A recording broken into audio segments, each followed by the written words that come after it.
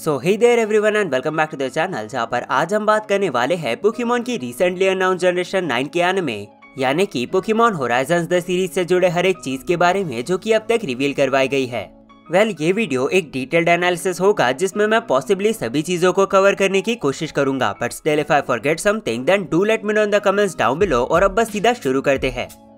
तो फर्स्टली इस upcoming series का इंग्लिश नाम होने वाला है Pokemon Horizon but interestingly Sun and Moon series के टाइम पर पोकेमोन की एक शॉर्ट मांगा सीरीज़ को रिलीज़ किया गया था, जिसका नाम था पोकेमोन होराइजन और इस मांगा सीरीज़ में हमें देखने मिला था एडवेंचर अकीरा और उसके रॉकरफ का, जिसे दो वॉल्यूम्स में रिलीज़ किया गया था। पर आखिर मैं इस मांगा सीरीज़ की बात क्यों कर रहा हूँ? वेल इन दोनों वॉल्यूम्स के बीच में हमें इसके मेन कैरेक्टर अकीरा की ग्रोथ एंड डेवलपमेंट देखने मिली थी। एंड आई थिंक यही सिमिलर पैटर्न हमें पोकेमोन की अपकमिंग एनिमे सीरीज़ में भी देखने मिलेगा। But that's a topic for another video so so, वापस आए अगर इस सीरीज़ पर तो इस सीरीज़ में हमें दो नए प्रोटैगनिस्ट देखने मिलेंगे जो कि है Liko and Roy and this will actually be the first time जब हमें पोकेमोन एनिमे सीरीज़ में एक फीमेल मेन प्रोटैगनिस्ट देखने मिलेगी। And by the way Pokemon की ये नई सीरीज़ स्टार्ट होने वाली है 14th ऑफ़ अप्रैल 2023 से with an one hour special episode अब इस सीरीज़ के कुछ कैरेक्टर्स को पोकेमोन जर्नीज के कुछ लास्ट एपिसोड्स के साथ रिवील करवाया गया था, जिनमें से सबसे पहला कैरेक्टर था Freddy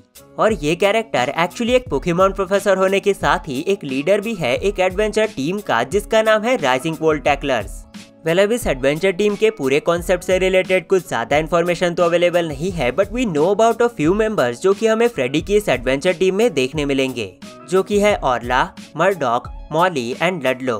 and each one of them have a special role plus interestingly ये पूरा एडवेंचर ग्रुप ट्रैवल करने वाला है एयरशिप्स पर which definitely looks quite cool और जैसे कि हर एक शिप को एक कप्तान की ज़रूरत होती ही है this ship also has a captain called as Captain Pikachu because why not right अब ये पिकाचू कोई स्पेशल पिकाचू है या फिर it's just gonna be a normal one ये तो अनक्लियर है बट जिस तरह से इसे पुश किया जा रहा है let just hope that it will play an important role in the series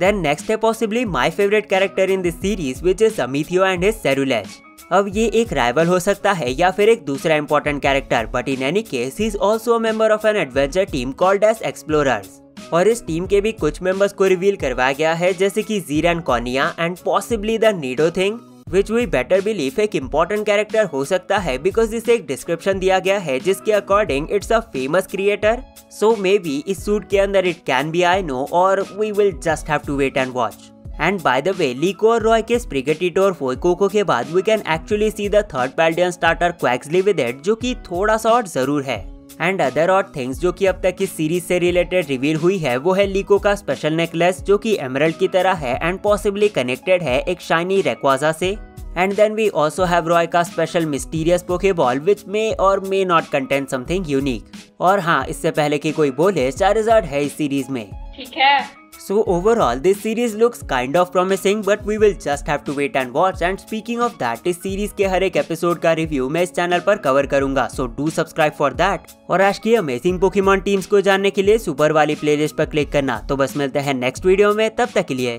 thanks for watching